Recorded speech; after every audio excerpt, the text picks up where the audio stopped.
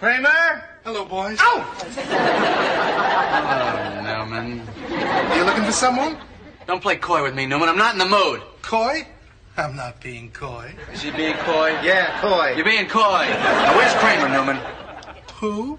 Listen, Tiny. I want to know where Kramer is, and I want to know now. All right, go ahead and hit me, Seinfeld. I got witnesses. Turn around, George. Sure. George? I mean, you better tell me where Kramer is, or we're gonna have to do this the hard